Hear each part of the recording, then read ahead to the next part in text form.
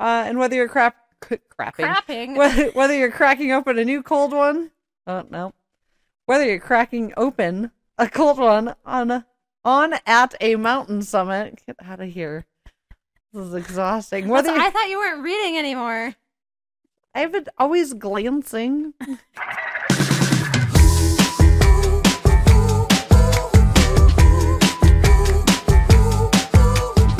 wonder how a groundbreaking gel could change how you consume alcohol?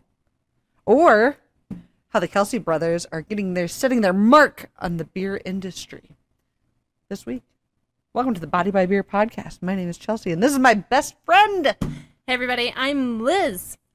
And this week's episode, we're going to dive into the heart of the craft beer industry with some super duper exciting brew news, one of our favorites. And we're going to have an inspiring interview with Mike Meyers from Root Shoot Malting. And we're going to get into the art of malt mastery. Mm-hmm. Super exciting. You're going to love it. Plus, like every other week, we're going to tantalize your taste buds with some perfect beer and food pairings. And last but not least, we're going to get into some quirky truths about the Colorado craft beer scene and some things that people don't often warn you about when drinking in Colorado.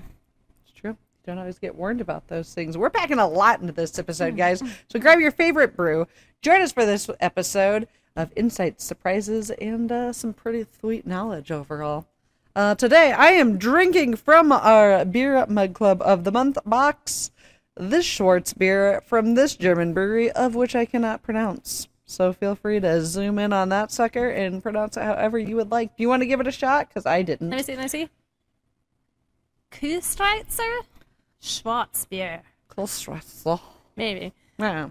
I'm also drinking out of our Beer of the Month Club box, and this is the Sarka Pilsner from Jackalope Brew in Nashville, Tennessee. Uh, we thank both beers for joining us in the Beer of the Month box club.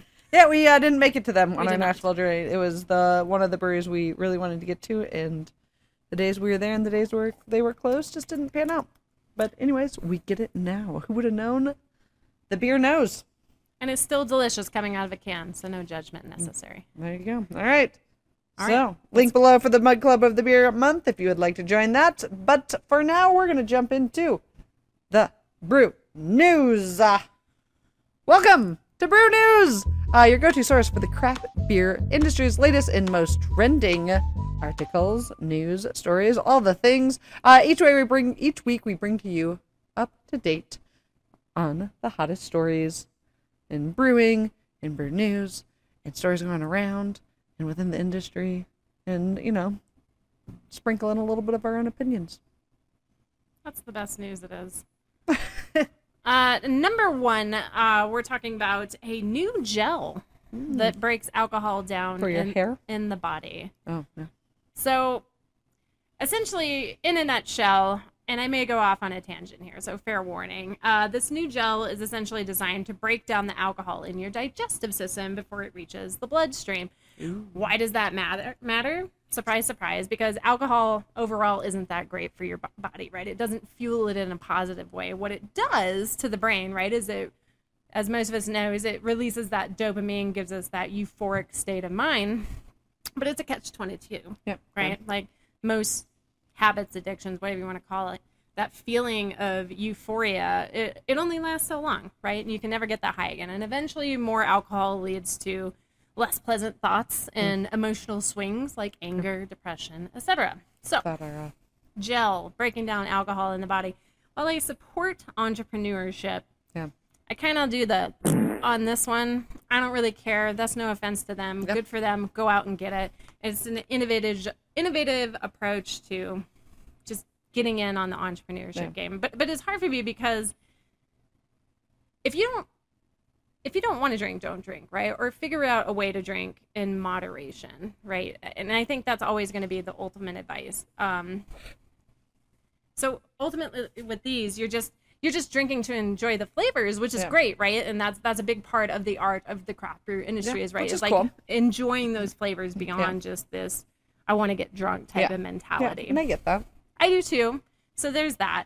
Um, So for me, it just breaks down into like the gel. It depends on your perspective of what healthy is. Yeah. Is is really kind of where I went off here. And for example, it's like spending all week telling myself these terrible negative thoughts and and then expect to go to my therapist and I'm going to feel better after 2 hours or an hour how much I can afford to pay them that week that they're going to make me feel better, right? Which isn't true, which ultimately at the end of the day I have to stop telling myself these negative hot thoughts in, Yeah, in order to start feeling better. Yeah. Right. So that's how I feel about gel breaking alcohol down in the body. Yeah. So if, if, I, if I just want that flavor, then I should just go and have it for the flavor, right? And not worry about alcohol effects on the body Or again in moderation. or again in moderation. Again, not just poo poo on these guys. It's a cool article. It's a cool thing they're doing. Be, not my cup of tea. I'd be interested, like long run, what other studies or discoveries come out of it because of it. I I, could see this being like the first step to solving a bigger problem, but this isn't necessarily like the dream bigger problem they're solving. It's just like making sure it's working. I don't know. I, I mean, I don't know what that next step would be, but I could see where maybe there's something like bigger and bolder in there. You know what I mean? Yeah, I, I'll give them one more kudos. Uh, it is like all made out of like whey protein. Basically, they're just freaking. jacked.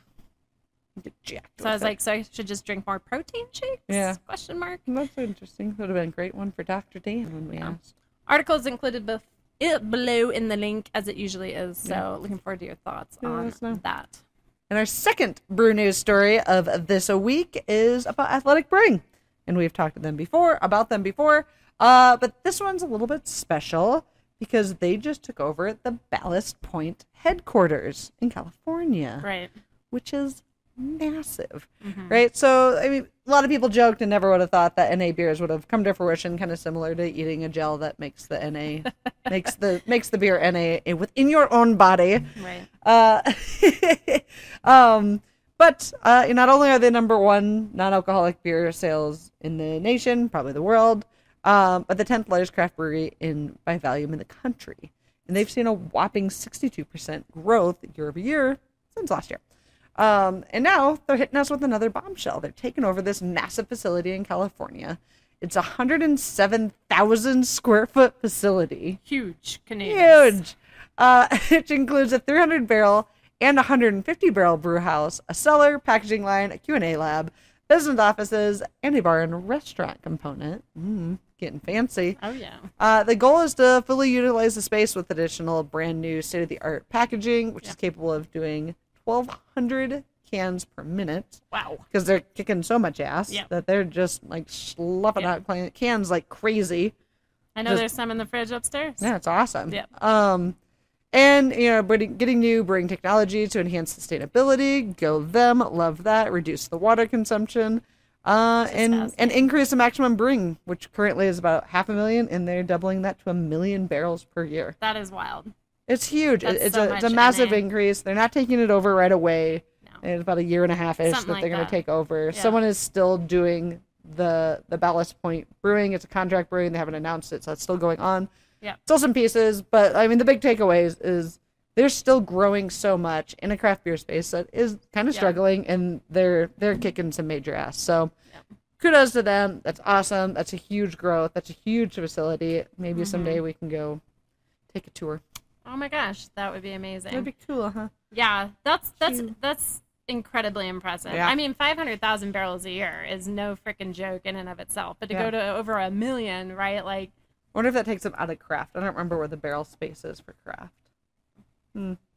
And I've said it before, but I don't remember it off the top of my head. yeah, Yeah, I mean it's a huge growth and great for them. And just what an I just I can't imagine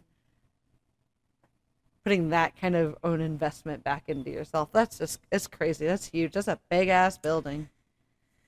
And we were talking about how you know the grapefruit IPA was such like a groundbreaker in the IPA world. yeah. Just yesterday, Yeah. uh, uh, we were talking about the Mount Rushmore of IPAs, And right? one, the- and yeah, yeah, was on there. the Sculpin. Yeah.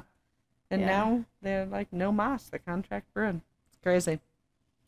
Mhm. Crazy world. There you go. Anyways, Anyway, good good for the NA industry, right? It proves Good a, a huge point, yeah. right? Like, yeah, I mean, it just that that's just growth and evolution right there, right? Like the people chose not to drink, so guess who moves into the largest, one of the larger facilities, right? Especially on the West Coast. Yeah, All right. good for them. Pretty cool.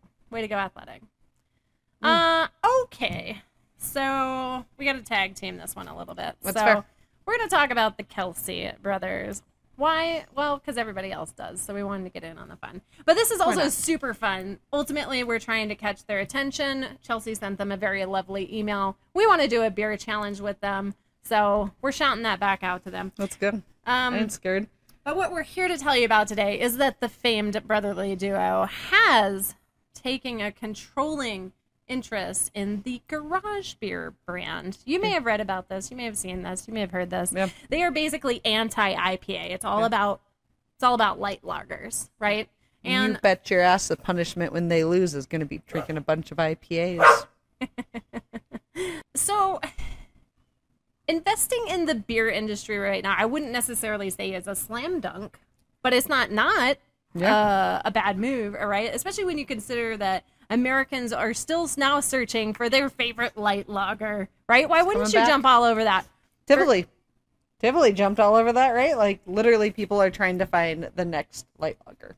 Yeah, and Modelo had its uh, time in the spotlight. It is not not in the sun, right? It So did to its speak. best. Motherfucking Hulk Hogan, America's real beer. He jumped on it. All I can think about is Ashley at Remy. Stop. Leave it. Just so happy right now. I know, but she's ruining our whole flow on this. It's gonna be all choppy. Are you done? Yeah. Anyways, Reminds to me the of next one. Ashley. yeah, but that's not gonna cut well. All right. Uh. Shoot. Where Um, was it? Okay. Uh, the okay. Kelce brothers. Okay. So. I don't even know how to get. Okay. So like, there's this overwhelming urge to jump into that light lager like uh spotlight, Yeah. right? To be America's light lager brew. So. As we all know and have come to love, the Kelce brothers have made a name for themselves in the podcast world. Not to mention their multiple Super Bowl championship rings. Well, That- not not Jason, but Travis. Sorry, not sorry, Jason.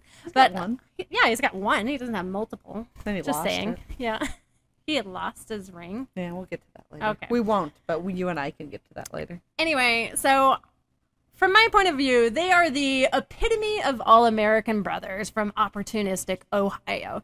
Yeah. Genetically built for America's game of football. They love it. So you can't argue with their passion. Oh, and they're actually pretty good. Remember we said Super Bowl championship rings. So uh these all American brothers really embody that that frat guy, that party guy, that dad, right? Like Jason is like such a good dad. So I feel like Girl dad. he's a girl dad. And of course, they love light lagers, right? It's the classic American dream beer. They represent a classic American dream. Why wouldn't they represent a classic American light lager? Yeah. You mow the lawn with it. You watch Sunday sports with it. Shotgun it. You shotgun it. You celebrate with it for them. And they invest in it. That's how all American those guys are. Yeah, I love it. anyway. It's a great. I had it's a really great fun time uh, thinking about that today. How, was- how American how it is. American it is. Like it's it's Right next it's to Hulk. Hogan. Well, you know, like Hulk, Hulk's a little old, but I dig it. I like it. Yeah. I watched a lot of WWE uh, growing up.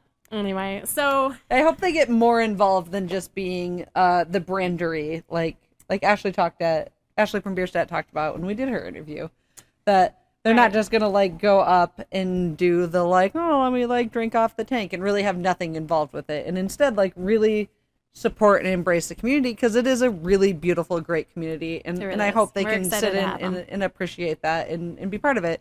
And yeah, like we want to challenge them. We are challenging them to a sports beer drinking challenge. And I don't know if you guys see how that saw my beer chug.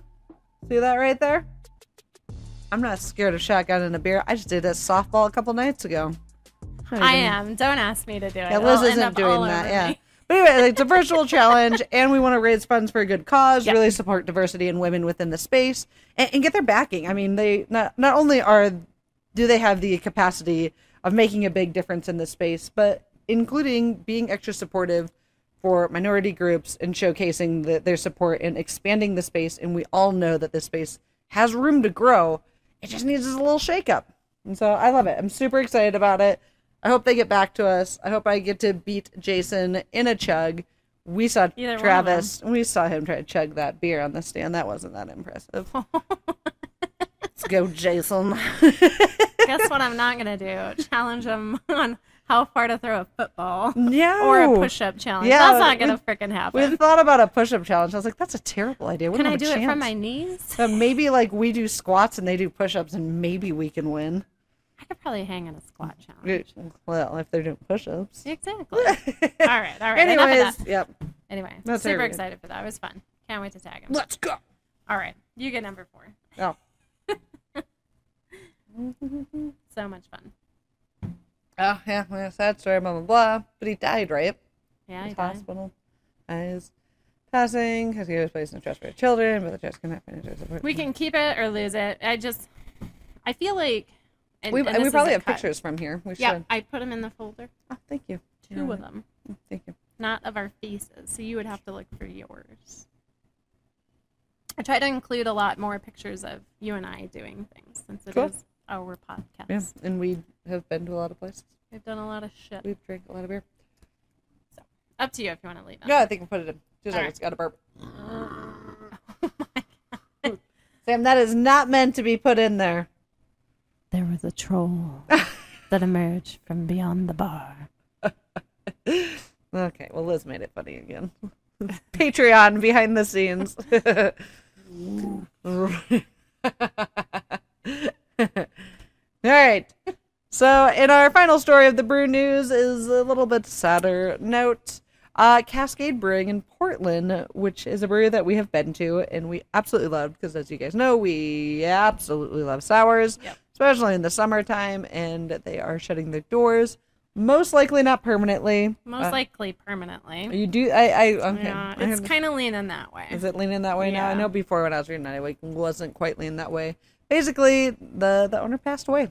Super sad. Uh, he left the brewery to his kids, uh, in In you a know, trust. in a trust, and they can't financially support to continue the operations. It's a Um, bummer. you know, it's like the House of Sours Yep. in Portland. So I'm the reason I'm optimistic is maybe it doesn't say under their name is that I have a hard time believing someone won't pick it up. Like it's such an iconic brewery. They've done such incredible beers that like Yep. I'd be super super sad to to see that that not happen. I mean, know, sours I that's a feel like have kind of dwindled, but man, Yeah. sours are so good. Yeah, they're saying sours are dead, but I don't know about that. I hope not. But It'll but I like that you said that. Um, again, the article is below if you want to read into it. I definitely read it, read into the more poignant part of the story in that like the kids, like you said, just couldn't financially support it anymore. But also like apparently there was supposed to have been a sale of the brewery and brew house like four years ago, Mm-hmm. but the details of it were never finalized. COVID, you know. Yeah, exactly. And I was like, well, get your will done. You know, make sure that shit's cleaned up before you die. And but you did. don't know when And that's going to happen. Yeah, You know, I'm guessing he- wasn't that old. Yeah, he was 80. Oh well. I mean, he's older. There. That's up there. So that's my dog. That's my. Anyway, um, Sounded like So- you were saying that about the old man. yeah, oh, that's my dog. My dog blue. Aren't I go way back? That's not true. But but but I will say like like that is definitely a place that sticks out to me for sours, right? So that was like the summer Yeah. of 2017. I hadn't had a whole lot of sours at that Yeah. point. Uh, and then, uh, yeah, it was a couple years then until we actually went to Cantillon and Trace Fontaine over in Belgium. So like I got I gotta kind of put that in like one of the first big sours that I ever had, you know. And we also went to uh, uh, the brewery over there that year as well. Oh yeah, yeah. Yeah, Nightmare on Brett Street. No, wrong place. What place is that from? The the brewery. That's what I just said. yeah. The brewery is they have the big dark sour, but it's not Nightmare and Brett. Who does Nightmare on Brett? It's local here. I think it's like it's not Odell. It's Belgium maybe. Odell. Well, anyway, anyway, you can cut that last part, but I really think it's oh, important. Cricket to- Stave. Crooked Stave. Well, sure. I thought they were hiring actually. I was like, hmm. Yeah. Anyway, they're definitely a core memory for Yeah. sours. I can't me. remember the name of that dark sour. That was like my favorite dark sour.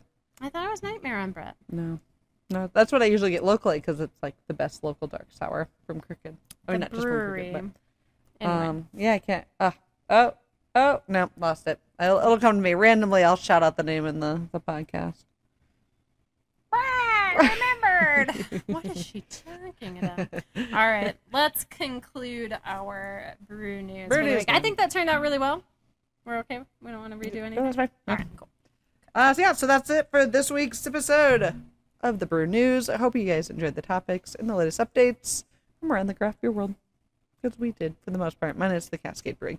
Um, if you have any topics to cover or feedback from today's segment, feel free to reach out. Don't forget to subscribe and tune in to next next next week for more exciting news and insights. And don't forget to check out our brand new merch.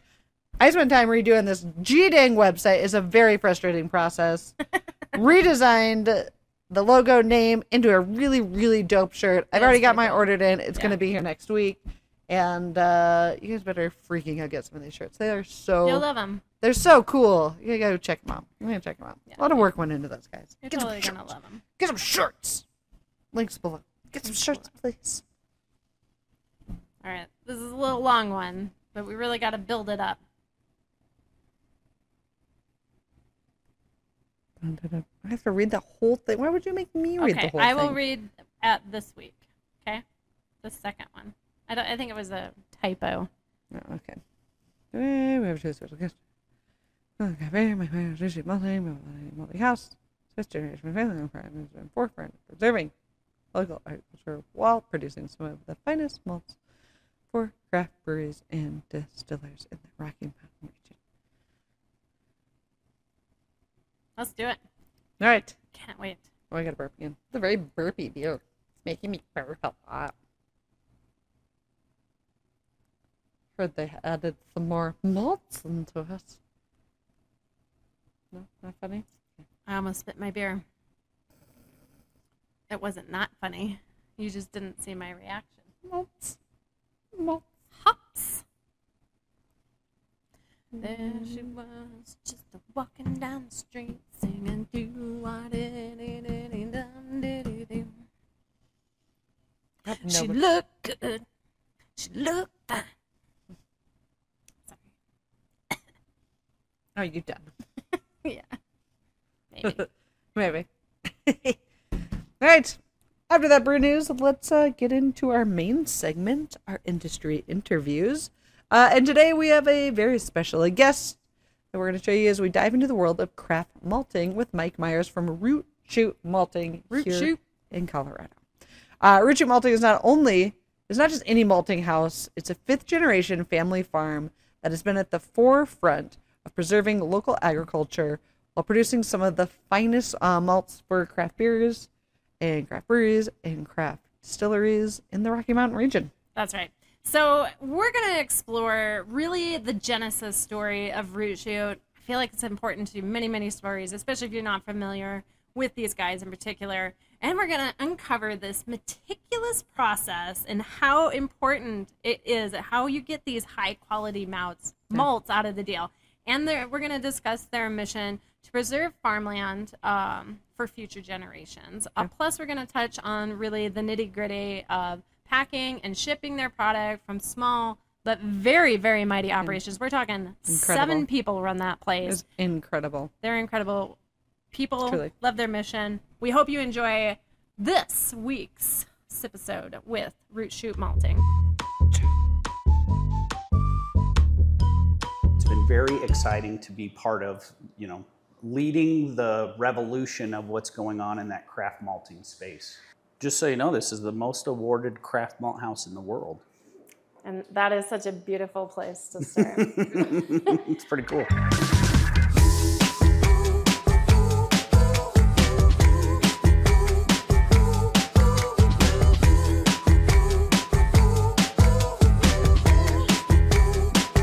Why don't you uh, go ahead and say hello to our viewership, let them know who you are, and then maybe get into a little bit of that Genesis story that we were talking about. Okay. Um, my name is Mike Meyers. I came on at the very beginning once they started to get a foothold and started to sell some malt here, and basically stepped in to help run the full operations, which goes all the way from delivering uh, grain to cleaning the vessels to packaging to making the grain. So um, I've been here for, from the beginning pretty much, which has been pretty exciting to see. Heck yeah. Oh my gosh. Anything from the ground up, I feel like Yep. it's always worth it. Um, give us a little bit then a background. Um, I know why I'm excited to be here. I feel like you've kind of gotten that hint. Um, you're the most awarded. Yep. The most into that a little awarded craft malt house in the world. Um, we've been recognized 11 times for the quality of grain coming out of this facility. Um, through the Craft Malt uh, Guild, they host a competition yearly, and we've been recognized uh, 11 times, but every single year that they've had the competition. So it's been uh, it's been very exciting to be part of, you know, leading the revolution of what's going on in that craft malting space. Okay, I, I, I think that's a really good segue into what does that mean to be leading the market? We want to provide high quality grain to the brewers and distillers, and we saw a, a void in the marketplace. Okay, so the Olander family has been farming for a really long time. Really They're long really long time. They're a fifth generation family farm, so you start to wonder how does a fifth generation family farm become the most awarded craft malt house in the world in a decade? in the world. In the, wow, yeah. that's bonkers. Yeah. Well, the secret is in their tagline. Actually, it comes down to three simple words: sow, grow, deliver. There's a lot of meaning behind those three simple words. Yeah. Seemingly simple. yeah, and they live up to them. Todd and his parents were visiting New Belgium and a couple other regional specific breweries, and they were talking to the brewers, and the conversation went something like, "Where are you getting your grains from?" And a mm-hmm. lot of them were getting them imported from Europe. Yep. And the family has been on this plot of land for almost 100 years. We hit our 100 year mark in just a couple years for the farm, the century mark, which is pretty exciting. Absolutely. Uh, but during that 100 years, we've grown barley for Anheuser-Busch and Coors for about 50 of those years. So we were growing high quality barley for some of the biggest producers of beer in the world, or at least in America, at least. Um, and so there was just this, you know, disconnect. Well, the family thought, well, we can grow high quality barley, maybe we can malt it, and there's no local provider for any of those malted materials to the brewing industry. And if you think about it, Fort Collins at that time is, and it still is, considered the mecca of beer. So Yeah. there was just this giant void of a local producer, and the family thought, hey, this is this is a pretty good idea yeah. let's move forward. And through some of those conversations with those original breweries, um, the feedback that they gave us was that if the if the product wasn't good and if it wasn't consistent, then they just weren't interested in it. And so that led a lot of the thinking uh, from the family of how to build this operation. Okay. So we looked at a bunch of malting equipment, and we uh, Todd flew to Germany, Todd and his dad, to look at some of this uh, equipment that we now operate on. And at that time, it was, I mean, our, our equipment is considered the Cadillac for craft malting. Uh, what year did what year did that start kind of taking Oh, place? Geez, maybe like 20 or 2015, maybe even earlier is when those original conversations happened. So, I mean, it took us a while to source the equipment, to find out what we are really going to do, to build the building, Yeah. to you know do all those things. So the groundwork was years before that, just thinking about it and you know observing what was going on in our backyard cool. in the brewing industry. So you're talking about over the realm of the last decade, and and, and here you are, Hmm. and still no one. Troubadour started, so so they came after, right? So, So- you started. Colorado Malting is the original Colorado. I, I I would credit them with being the first craft maltster maybe in America. Uh, so those guys truly in Alamosa are leading Okay. the way. Yeah. Uh, they set all the footprints. You know, they led the way. But we came after those guys, and I, am not clear on the timing of Troubadour, but we're pretty close to those Yeah. guys. So Okay. Very cool. Mm-hmm. Oh my gosh. I can imagine like being like, okay, we've grown this for 50 years, you said? Mm-hmm. Yeah. Barley for Anheuser-Busch and then Coors, yeah. Wow, and Coors. Yeah. Originally, our the farm was built to do custom harvesting. That's what we were doing. So we actually purchased like the large format tractors to help f- other farmers around us, and that's how we kind of like got into that custom Sure. farming, custom harvesting Yeah. program, and then we've since um, shifted a little bit of that. You know, I think the family saw um, saw an opportunity to start filtering some of the small grains through the malt house Okay. to start relieving it instead of moving those items into like the commodity market where Hmm. the value of it is completely uh, unpredictable. So corn could be really high one year and really low the next Yeah. year and Yeah. you know you're kind of at the mercy of what's going on in that commodity market that you have no Yeah. control over Yeah. right? And so that's kind of the idea of the malt, having the farm. So this operation will always be a farm first. We're a farm, family farm, 100 years, if we farm stuff. Awesome. And then we filter all the small grains that we're growing through this operation that are we're then relieving out in the marketplace into the breweries and distilleries everywhere. So So farm and filter. mhm. farm, malt house. Farm. So we we sow, we grow, and we deliver. That's Very kind of our tagline. Love that. Mm-hmm. Okay. So you really can't deny the amount of passion that is literally just oozing from this farm. You also can't deny the quality of the malt this family is producing, right? Look at all the medals, look at all the awards, look at all the recognition. I guarantee, at least I'd be willing to place some money on it. If you've had a beer in the state of Colorado, you've probably had a beer with malt that comes from this farm.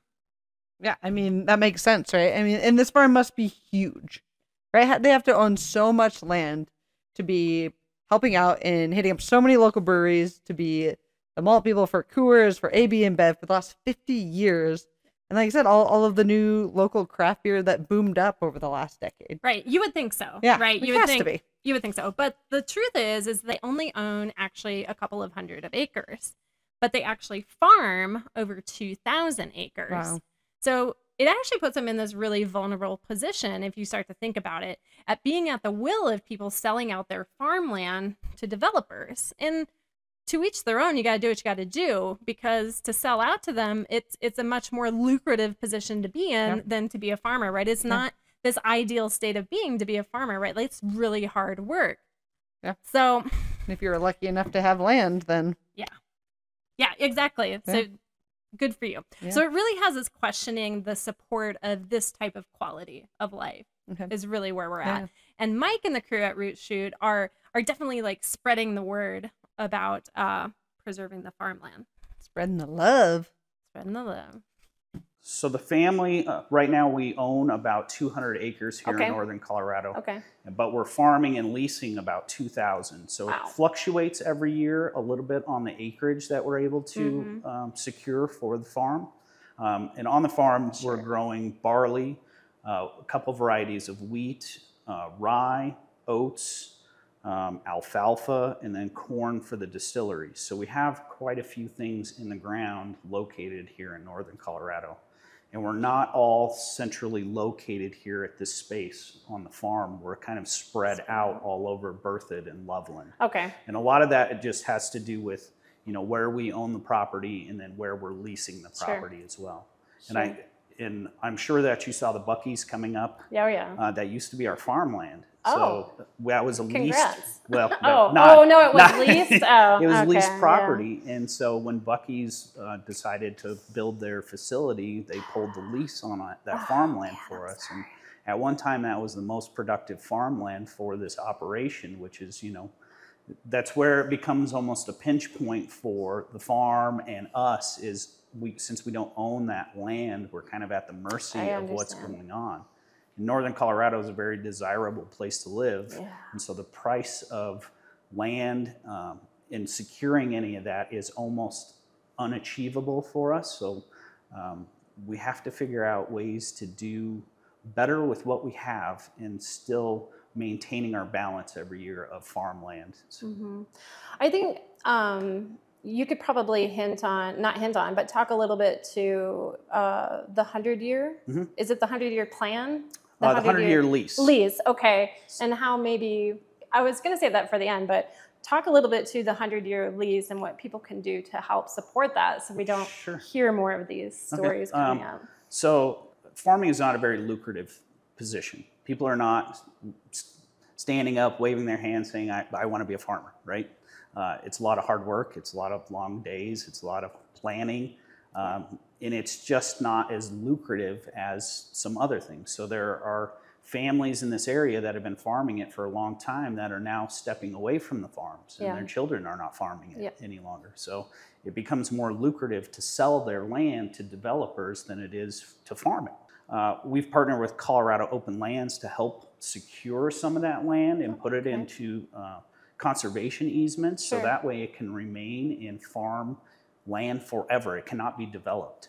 Um, so we've started moving our own farms that way and talking to some of the farmers around us that were also farming their land to help them, or at least to introduce them to these ideas of, hey, well, we want to maintain some of our, our food integrity or food sources, and we want to just make sure that this is going to stay farmland forever. Yeah. Um, so that's kind of the idea of the 100 year lease is to try to bring some, um, just my more, more thought, more eyes onto it, talk about it a little bit on how farmland is disappearing Right. and very viable farmland around Yeah. here. And if you own that, it, like I said, it's more lucrative to sell it, right?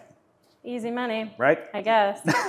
Um, so what can what can our viewers do to help support that if they're interested? Um, Yeah, I Um, mean, Colorado anybody- Open Lands is Yep. an organization that they can reach out to. Okay. Um, we have some resources on our website that Okay. kind of explain uh, what's going on there. Uh, we're starting to have these conversations about what we're going to do to mark our 100 year as a farm. So we're talking about maybe releasing a single barrel of whiskey that's you know picked by the team that's the best, and maybe some of that funds goes back to the open lands, or malting something very unique where we're giving back some of that just to help you know raise attention to it. So there's this way of life and this quality of life that goes into the root shoot ethos. Gotta admire it, man. I freaking love it. And it's this product of malt that's getting put out there, right? So what we're going to learn next is uh, that germination and the steeping process of malting, right? Root shoot has a steep tank and three drums that they use to turn out the malt product. Huge. Huge, yeah. I so if I if I'm hearing you right, we're actually gonna go through the next steps and the steps of germination. And like how that all goes how that all works, right? Yeah, and it's going to be the beginning stages of it, right? It's not only the germination process, but how they use hot steeping for quality assurance, quality control that they're putting out this good product. All right. So it takes us seven days to go from raw barley or raw wheat or raw rye, whatever the product is. Um, takes us seven days to go from start to a finished product. wow. So, And how much are you doing?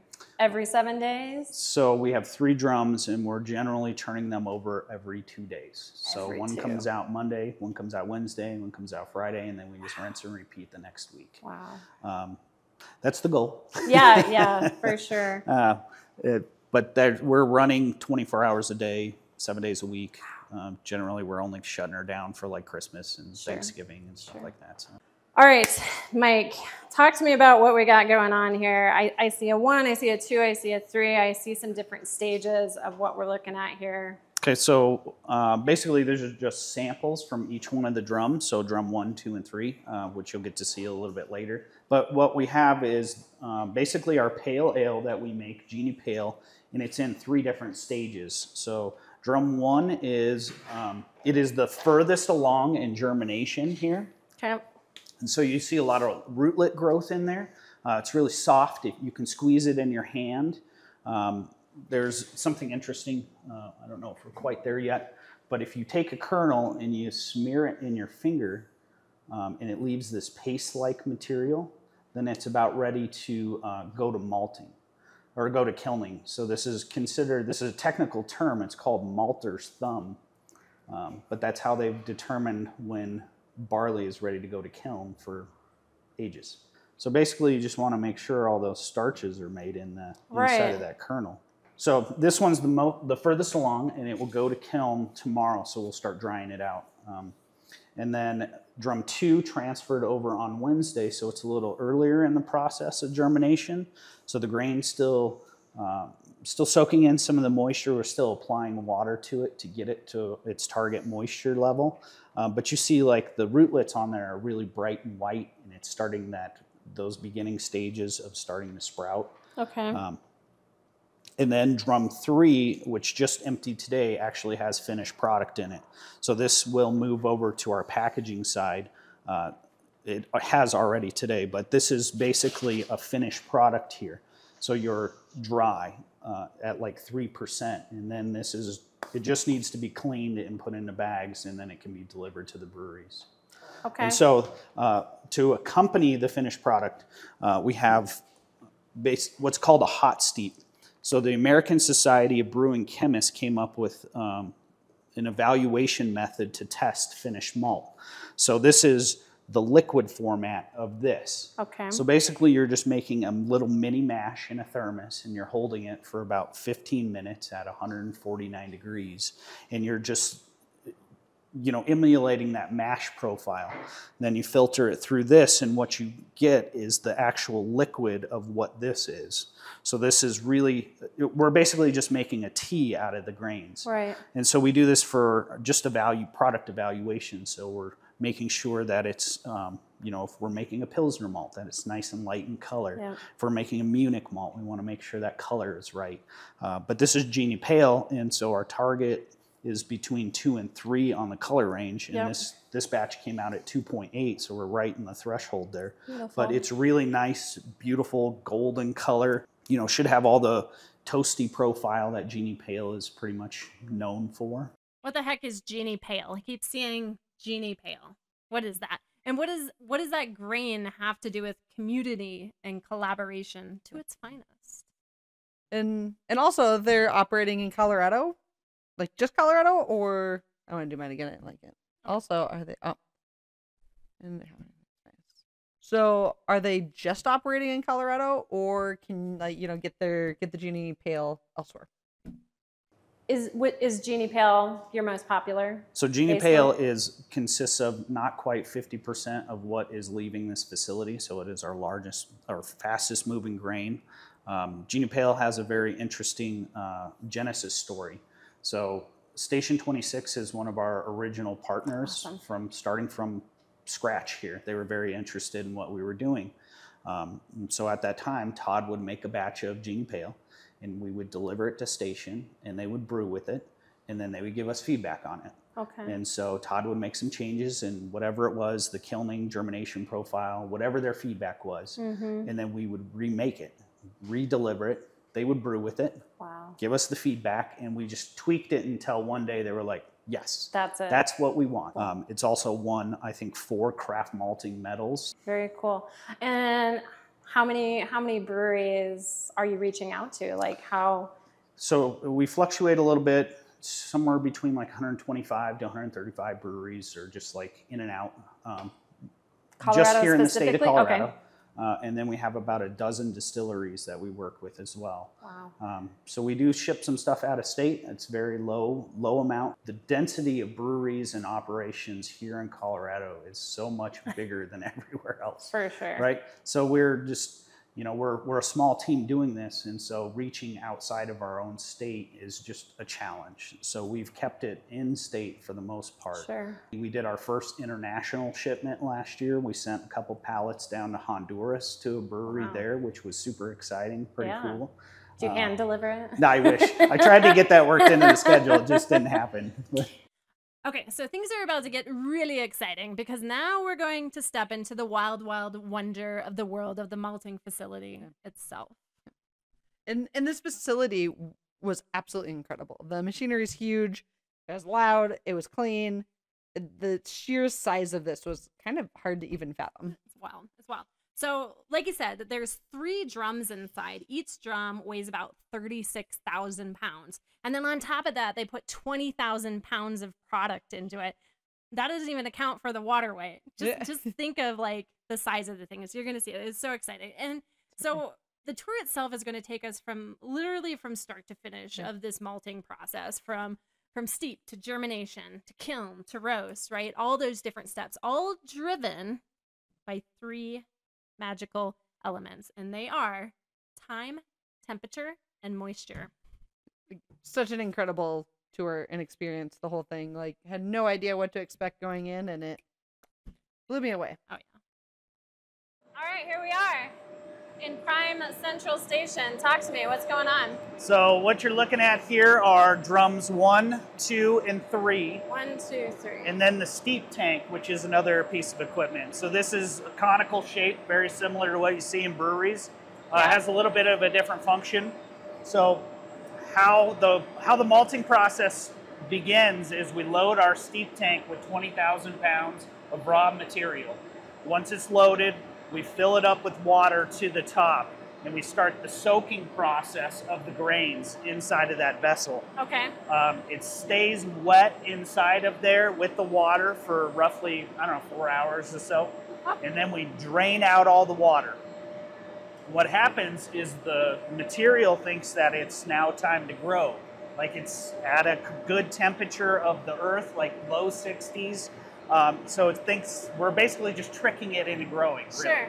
What happens is we start to generate a lot of heat inside of that vessel. Sure. So we go from low 60s to it starts to push up towards 90 degrees inside of there just on its own energy that it's creating through that growing process. Cool.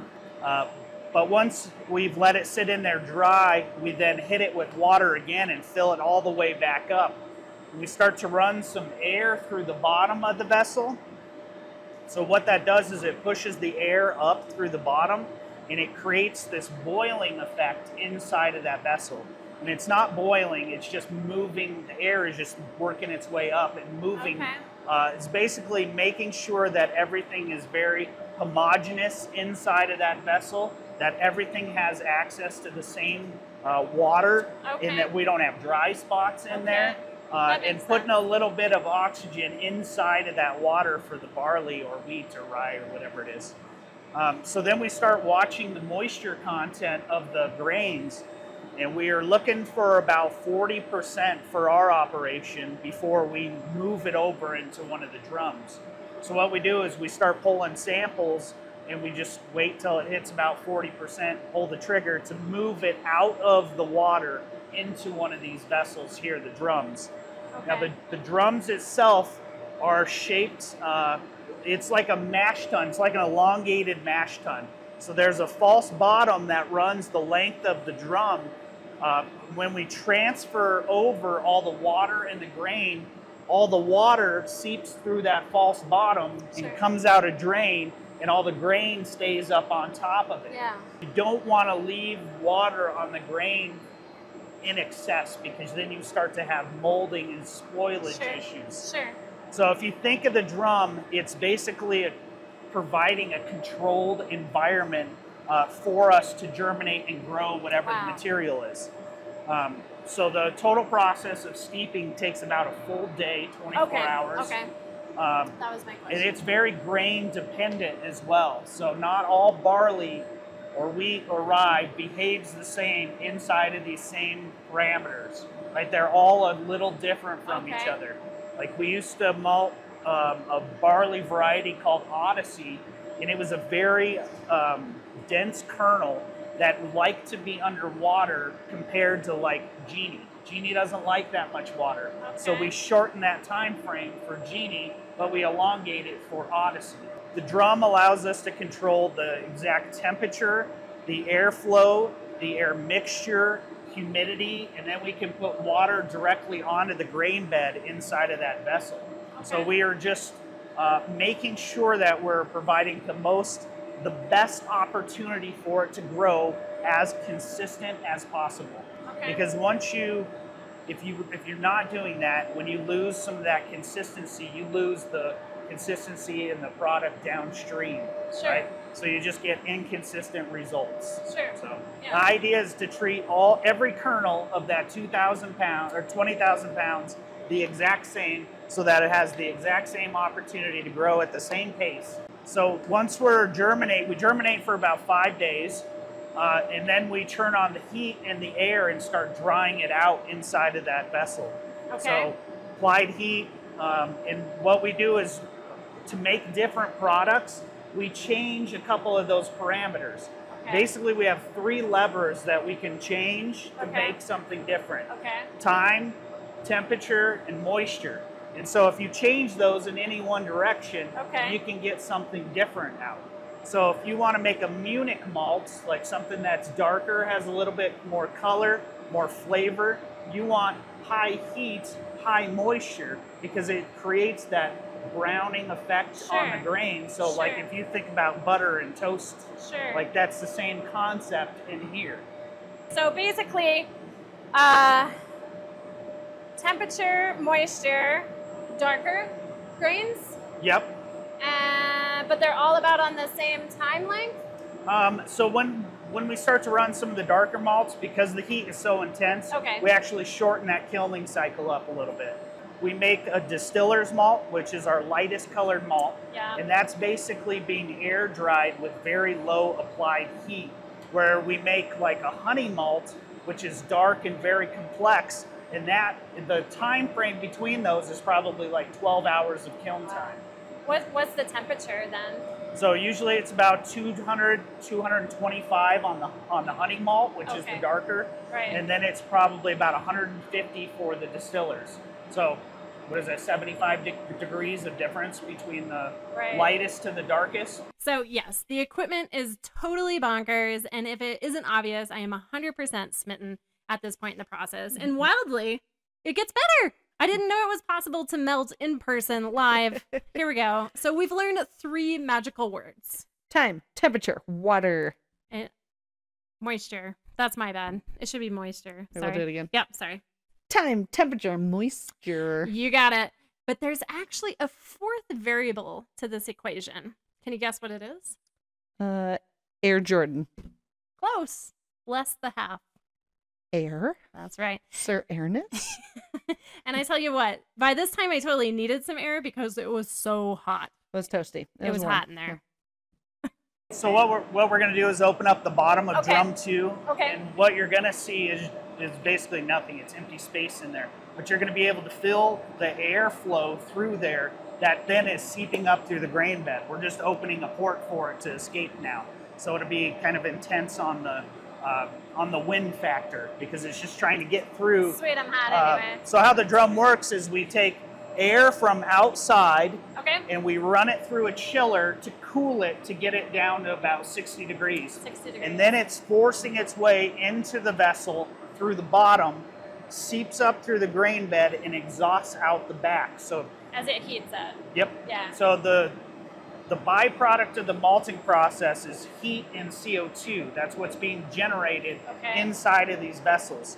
So the idea is that uh, the idea and the beauty of our equipment is that if we want it to be 60 degrees inside of that vessel, it will self-regulate the temperature to hit that 60 degrees. So if it senses that the grain bed is starting to heat up and get a little bit out of control, it'll turn the fans on and run the air through the air, basically a chiller before it feeds in, Cool. and it'll start cooling itself down. Is that what sets it apart then when you called it the Cadillac of systems? Yes, it Okay. gives us a lot Okay. of control over Okay. all those processes. Basically, I mean, when you boil it down, some farmers that don't know how to malt, all the bells and whistles on how to do it the best to their abilities, right? Yeah. You know, They were not leaving anything to chance. They wanted to figure it out. And this gave them the most opportunity to do something consistent. And this is how you they planned it out, right? Like we built it this big because we were putting three drums Right. in, we were putting the one steep in. Yep. This is how it was going to be. So that's where this uh, operation is optimized at. Okay. So we have one burner and one steep tank, and both of those can power all three drums. If you wanted to add a fourth, you would have to go to six because that's where it's optimized at, right? Yeah. So, but it, what's really interesting is you can't cross streams with processes in here. So I can't kiln two drums at once, and I can't steep two batches. So you have to be very regimented in your processes on how you're achieving getting product Sure. from A to B. That's the OCD dream right there. Yeah, I that's love that. perfect. I love it. Yeah, okay. All right, I see you. I see you. All right, all right, let's take a look. Okay, Did you hear that? I can't hear much. Oh, okay. come in Let's a little it. closer. Get in. I want to feel the full force of the wind.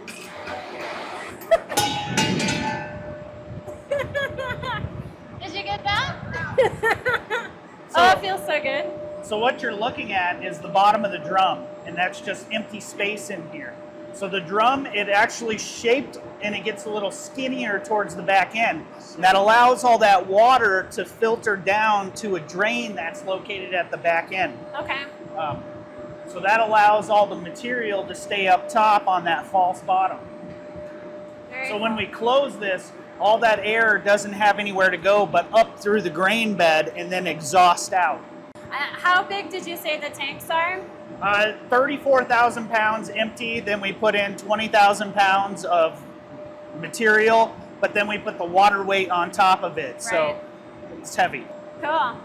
If you're warm, stand here because it feels very nice. Because it's been over 90 degrees the last few days, uh, everything is happening faster. So Sure. a lot of the equipment is trying to cool everything down, right? So malting in the summer is different than malting in the winter. In the winter, everything is cold. So your groundwater is cold. The grain is cold from sitting outside.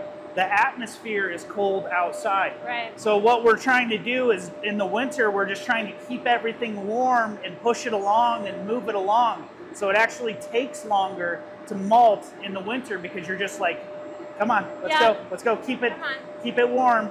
And in the summer you're trying to suppress all that heat Sure. because you have the inverse problems. Ah, he got me again. There's a fifth element to this process. Basically, we'll call this one the no clumping allowed. Think of how you dry out pumpkin seeds or adding milk to flour. What happens?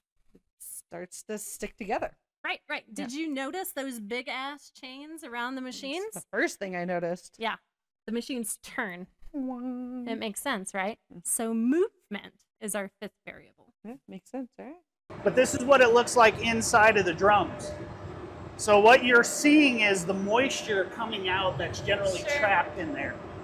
But you have the grain bed is maybe three and a half, four feet deep from basically here down to the temperature probe down there. Okay. So you have the false like back on this, and that's where all that air is escaping out of this vessel. So I see the auger. Are you uh, stirring it as well? So we're not. Um, that's to help get it in and out. Okay. So what happens is when we pump it with water out of the steep tank, it'll collect. It comes through these pipes and it'll collect right here. And so we need the we need space. So the auger turns on and runs to the back and helps move some of that product as it's uh, piling up right here to create some room. Okay. So it takes about an hour to get all the material from out of the steep tank into the drums. That's, that's not bad. no, not That's bad at all. So the drum itself, about every 11 hours, it rotates around. So if you're familiar with like uh, floor malting, with people pulling the rake and they're basically mixing up the barley, the rotation of the drums is just the mechanical version of that turning. So we have to have a way to Sure. turn the barley, or else it will grow together in a 20,000 pound clump inside of this drum. If you recall at the beginning, we mentioned the tagline sow, grow, and deliver. Well, we're at the delivery portion of this part of the tour of Root Shoot. Well, the beginning of it, anyway. So, what we're going to learn is that Root Shoot functions off of one base malt, Yeah. which ultimately they've mastered into 14 different products. I mean, I love that they're the masters of it, but it, it feels a bit like they have all their eggs in one basket. Yeah, and, and a little that's nerve wracking yeah. for me. And that's basically Mike's words exactly. So what we start to get into is that okay, so they've mastered this art, but what about mitigating risk? What about stepping outside of your boundaries to uh, combat that? All eggs in said one basket. This is the packaging shipping side of the warehouse. So this is where all the finished malted material goes. Okay. Um, so, like I said, we're producing somewhere about 14 different varieties of malt, Okay. um, whether that be rye, oats, uh, wheat, but we're all producing it from one base barley, and that that's Genie is the is the species of barley. Genie comes from a company called Limagrain, and they're a European company, and they just happen to have an office in Windsor where they sell seed from. So it's certified seed that we're growing. Um, and over the years of this operation, we've started with a dozen different varieties, and we've whittled it down every year to Genie, just one. And so, you know, we're the masters at all these different phases, so it has to grow well out in the field, it has to malt well, and then it has to translate to the brewing and distilling side. And so, as we've grown, we've eliminated things that have haven't grown well, Sure. haven't malted well, haven't had a good reception in the marketplace, and Sure. we've really hung our hat on that Genie barley. And so we've also won a lot of awards with Yeah. that grain as well. So it's kind of hard to deviate away from it because it does so well for Yeah. us. Um, some of the things that we're looking into to kind of like move forward into the future is like to look at some of our raw materials. A couple couple years ago, we brought in some heritage grains that we started growing.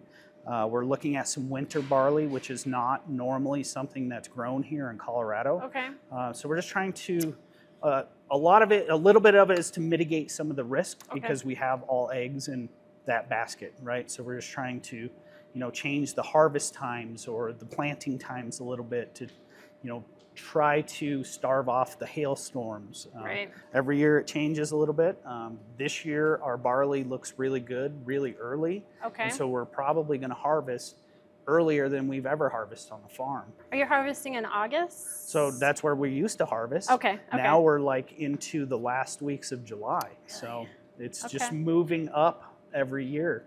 And it just Yeah. we're not really sure what to do. I mean, you can't you can't fight Yeah. climate change, No, right? Um, all we no. can do is look at some of our practices Mm-hmm. um, and try to mitigate a little bit of that risk through that format. Okay. So, but as we're getting closer to that 100 year mark for our farm, now we're really talking about doing something different, like just either growing a heritage variety of barley from the Czech Republic and bring it in. We've That'd been be talking to Coors, like trying to get the very first Moravian that they planted here in Berthoud.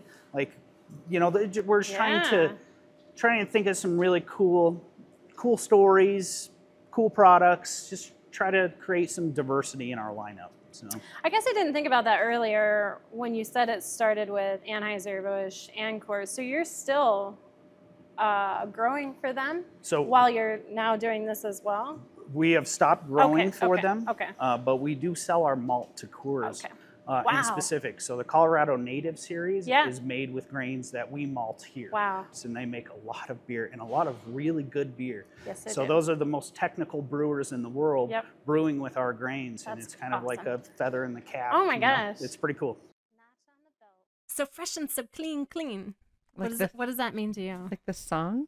Eh, I mean, yeah, but the last part of this packaging journey, I mean, is the cleaning and freshness that really shines when you walk into this place. I mean, cleanliness, it matched no other. Yeah. You know, it, it was absolutely incredible. The floors were so clean, literally by the milling machine itself. Yeah. So they take every opportunity to clear it out, whatever mm. they can do by the Mega Maid. The Mega might- I would have eaten off that floor. Absolutely. No doubt. Would have been totally fine. It was so clean in there. That's like the, one of the first things both of us said when we walked in. And and on top of the cleanliness, the freshness. Right? Like what a huge piece. I hadn't even really thought about the fact that they can get grain to a brewery on their doorstep within two weeks. Yeah. Like it, it's just so fresh and the type of impact that makes. Uh, in, in the example case of fresh bread versus store bought, like we all know fresh tastes better, and it's showing in a premium product. Exactly. It's a beautiful story. When a batch finishes out of the drum, Okay. it empties into one of these Oh, silos on the back side here. Okay. So this is where the, the malt goes to rest until we're ready to package. Uh, once we're ready to package, we run the malted barley through this cleaner here. And so what it is is it's a series of screens and shakers um, and airflow through there that's pulling out some of the loose material, broken kernels, um, rootlets, acrospires, anything that uh, is unwanted Right. pretty much in the final product. Yeah. If you're not starch, get out. Yeah. So uh, we we send it over here to the basically this is a hopper for the packaging line. Yep. Uh, we can mill for some of our customers uh, don't have mills in their operation, so we do some milling for them. And then the majority of what we do is 50 pound bags out the door. Mm-hmm. Um, some of our larger customers, uh, Upslope, Coors, Station 26, Prost. They all take uh, what's what's called super sacks, and so these Okay. are 2,000 pound bags of malted barley. Easy. So instead of a 2,000 pound pallet, Yep. uh, we're set, sending these, and, And- basically that's just a labor savings for the brewery. Right. Right. They don't Right. have to open 40 bags to get the same. They have 16,000 pounds that they ordered. So basically, a full turn out of one of the drums is what they've ordered. Full turn. Wow. Um, and that will be their keg beer, their um, packaged beer that's in distribution. So That's incredible. Who runs the trucks? Do you guys run that operation Yep. as well? Wow. So what makes this operation really unique is that we're vertically integrated. Wow. Right. So we're sowing, we're we're growing it, and then we're delivering it on top of that. Brilliant. So so Todd selects the seed, puts it in the ground, tends to the soil, runs the farm. We harvest it ourselves. We store it here on site. We clean the raw materials here. We then malt it and we package it and deliver it as well. So there is, you know, uh, only a few sets of hands touching this product before it reaches the breweries. Um, and we're doing it in a very fresh format too. So we're delivering malt that is so fresh to some of these breweries that they've never had it that fresh. right. Right. So if you think about um, purchasing grain from Europe, like Germany, uh, you know, it's historically where the best malt comes from in the world, right? But that malt is created in Germany in, in a warehouse, shipped to the port, gets on a boat, comes to the United States, sits in warehouses until it's distributed out to the breweries. So you're looking at like maybe an eight month time span Yeah. by the time that Yeah. breweries get it. And, you know, that's fresh for that. But when we're delivering malt that's a couple weeks old, there's a sensory difference in what the beers that they're creating.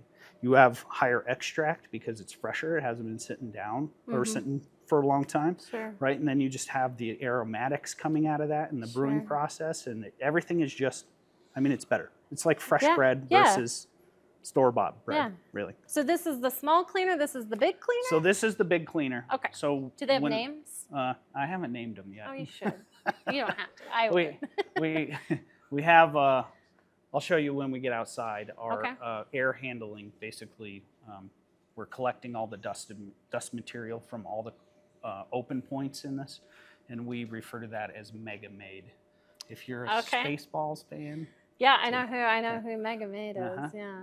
so this is the cleaner for the raw materials um, so any of the barley or wheat or rye that come through we, this is the first step of the cleaning process so this is just a really gigantic version of that where you have Mhm. more screens more airflow and it's Mhm. removing more material so you think like grasshoppers sticks bugs anything that's Mice. basically Oh. came out off of the field right Yeah, when yeah. they harvested all Yeah, the yeah, yeah. sticks and twigs and um, Where I come from, that's just silage. yeah Uh, okay. You're cleaning. You're milling. It's setting. It's pretty clean in here. it is pretty clean in here Talk, talk to us about your air filtration. You yeah, gotta. uh, so we we collect at every open point. Uh, we collect the dust, right? Just through. Uh, we have a giant cyclone out back that helps. Okay, keep, that's what the you're dust saying. down, okay. right? So, and then we also work very hard to keep this place as cleanly as possible. It's awesome. Right. Thank you. I, I mean,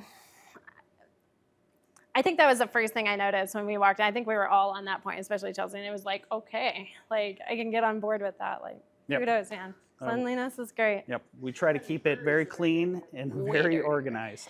Right. It's and it's very obvious. Mhm. It's very obvious. you. Yeah. Oh well, I want to see the maid. Well, let's go outside. Yeah, I want to bring my roller skates through here. That's how clean Uh, it is. before we finish this Oh, yeah. side of the building, I used to bring my longboard and just skateboard around here.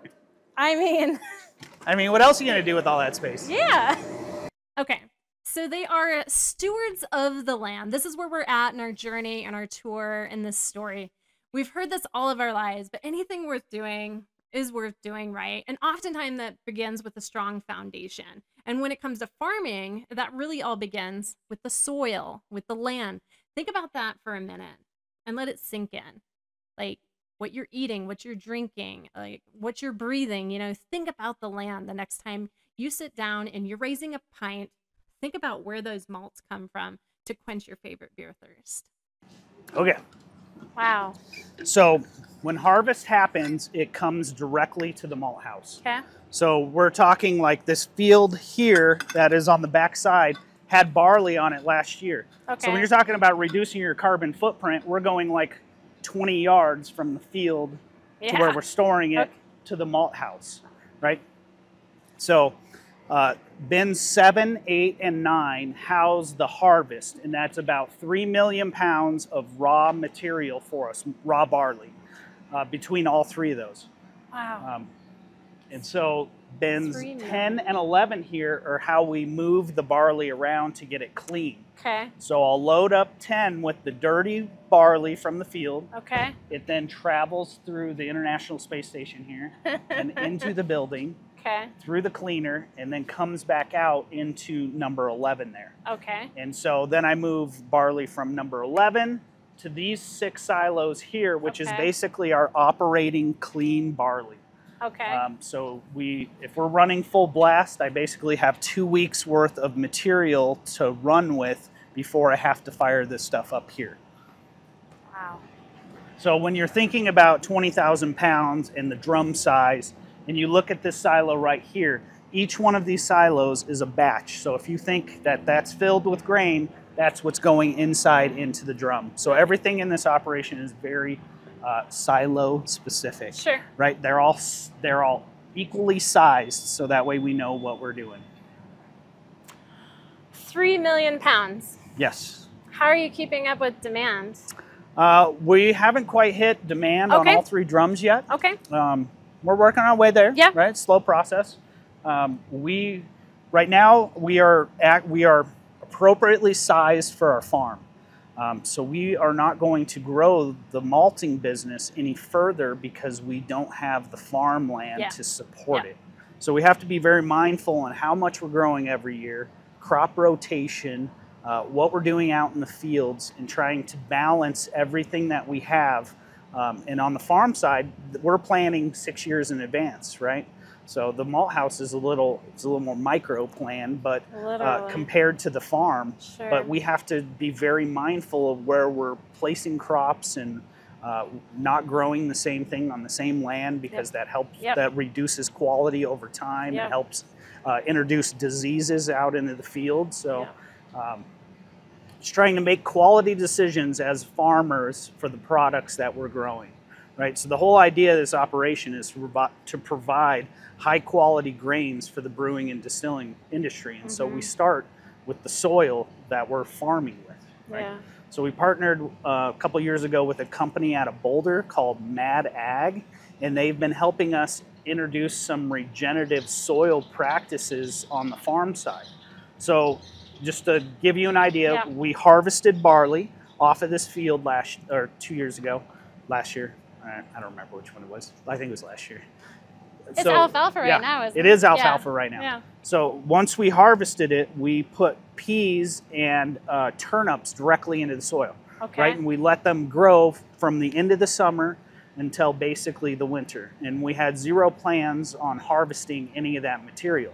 Well, the peas uh, are replacing some of the nitrogen in the soil, and then the turnips are naturally decompacting the soil for us. So instead of tilling it, we're letting Sure. that naturally happen, right? So it dies out in the field, um, and then we brought some head of cattle through and they graze. So Yep. you're creating some natural fertilizer Yep. out in the field, and they're trampling stuff down Sure. and mixing it up, getting all the nutrients back into the soil. And the idea is that when we go back into that field uh, with barley the next go round, that we will have a higher quality Sure. harvest, right? Because Sure. we've done some work to the soil to make sure that we're not just stripping the soil of all of its nutrients, right? We're just trying to be good stewards of the land, but think long term that we have to take care of what we have because we may not have it, right? And so if we can put some practices into place now cool. that can ensure a higher quality product down the line, we're, we're gonna we're gonna do that. Oh right? yeah. because it's it's very self-serving for us. Absolutely. right. I love I love the the peas and the turns. I mean, that's not dumping a bunch of chemicals back Correct. into it or anything Yep. to try and get it to be better. That never And- does anything. No, and then to Wow. just take a step off of that, we a couple years ago the price of fertilizer had skyrocketed, right? So Todd worked with another company to help develop our own fertilizer. So he's actually making his own compost on another plot of land uh, that we're out there turning the compost every day. So Awesome. some of the materials generated Sure. from this operation are then being composted by us love that are then being re- reapplied to the land. So we're that. trying trying to do all those pieces and still keep the farm running and the malting operation going and just trying to find ways to do things different and better. And it's a, it's a little different because uh, during like October, you look around and we have the only fields with material on them. Sure. And so a lot of the farmers around us think that we're crazy. So, as our tour starts to conclude, let me take a brief moment to geek out a little bit on how cool this farm really is. Oh my God, I can't wait for you to hear this. Yeah, I don't mean to geek out, but so far that's my favorite part. Well, Not that the other stuff isn't really cool. Like I said, I love I love the process, but to be and it's never a dull moment, right? Like you're Yeah. constantly implementing the next step. It's just Yep. like one foot in front of the other. yeah, And and it's so symbiotic because everything affects the next thing. yeah. I mean, Holy shit. it's, it's super interesting because you know we're now making uh, todd's making worm tea over on the farm so he's got these big bins that he's got worms in and he's the cat i don't even know all, all the things into it but he's just trying trying some different things to just you know do better it's, What about it's really all an experiment every day you know with the the companies that were on the regenerative agriculture piece they're coming out and they're taking shovelfuls of dirt Sure. and counting worms sure. like, and it's really, you know, I've been running this operation for six years, and six years ago when it rained, we never had worms on the sidewalks and stuff. Nice. Now, when it rains, there are worms that are like this big, Sweet. and they are everywhere, like enough that I have to get a broom to get them off of the oh. pavement before they dry. Like Oh. that's how different the soil has gotten around our malting facility. It's just as an observer, it's a very interesting change that you know you notice over time. Absolutely. This never used to happen. Where are these worms Yeah, where from? and how are they so big? Because there's a lot of good stuff in the ground. Very cool. And then last year we had barley on site here at the malt house, which was the first time that we've ever had that, Okay. which is pretty exciting because we're, you know, it's oh yeah. the proximity of what we're doing But there's is some good yeah. pictures. Um, so, being good stewards of the land, you know, there is a crop rotation that has to happen. Yep. So, we go barley, corn, and then alfalfa for four years. So, if you think about it, the land is locked up in a six year cycle. Um, at least that's where we're at now. Uh, so, this will maintain uh, alfalfa for the next three more years, and then we'll go back into barley. I was trying to imagine on what life cycle it's at. I don't know. Yeah, Right, I, like- this farm has grown a lot of things over the years, like Yeah. all the way down to popcorn, uh, just lots Yeah. of things. Yeah. Well, you can't live without popcorn. if you can, we're not friends. So this may come as a surprise, maybe not, but they're not all about the beer there. They are also about the whiskey. Oh, I like the whiskey. The whiskey. Uh, and they're really digging their teeth into one of the newer styles in the whiskey market, which is going to be the single malt whiskeys. Yeah. Right. So a lot of places kind of shy away, or people shy away from the price of it because the most expensive part is going to be the roasted barley on it, where right. they have direct access to it. And Makes so sense. they're like, yeah, let's just dive in on this world. And they've done pretty well already for a whiskey that's kind of like it's on the market, but not like really well talked about. Yeah. But they uh they might have an award or two with it. Oh so you'll have to chime in next week as we're gonna drop that little story uh in our on our off week of this episode, so you can learn about uh their their whiskey that they're pumping out. And it's so good and We- available we in various it. locations. It's delicious. We had been talking to some distillers, and we basically struck up a deal that um, we would provide the distillery grain, they would distill it, store it, uh, put it in their warehouse, sit on it for a while, and when we went to bottle it, we would create a product and we would split things 50 50. So some of that malt that we first produced from this building are now part of what is now our root shoot single malt whiskey Yeah. right? And so single malt has become a big deal in the whiskey world because it's the newest um, style, official style Oh. of whiskey Okay. uh, that's being recognized. Okay. Um, so it's good. There are not very many producers of single malt whiskey. So it's pretty small classification, mostly due to price of malted barley. Okay. Um, So a lot of distilleries don't they buy they make bourbon because bourbon's cheaper, corn is cheaper, rye is cheaper. Malted barley is the expensive portion, right? Oh, yeah. So that's what we have. We're making malted barley.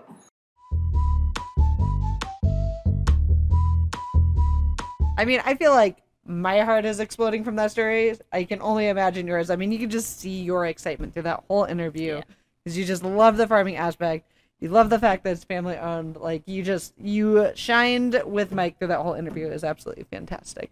Um, but Such yeah, a cool guy. yeah, I mean that wraps it up. I mean, what an inspiration to see a family-run operation how they can make such an important and significant impact on agriculture in a small area and within the the craft beer space in a very big craft beer space for for our area, Yeah. right? Like, Yeah. uh, like Colorado's known for it, and these guys are really at a forefront of if you want to push your quality, it comes from your ingredients. And and I loved his example of if you want to talk about lowering uh, some of your like your economic footprint, right? I mean, it's going from Oh ten God. feet from the field, literally right into their shop, and it's just absolutely incredible. So happy they let us come in and chat and truly learn an entire world that I and I know you didn't either had zero zero clue. Like like I, the amount of zero clue I had going into that was hard to describe. Like I had no idea what to expect, and I was just in awe the whole time. Yeah. I'm not sure I thought it was possible for my heart to explode from any particular experience in the world, but I'm pretty sure my heart exploded that day. Yeah. I was just in love with everything that they're cool. doing there at Root Shoot. So they're in Loveland, right?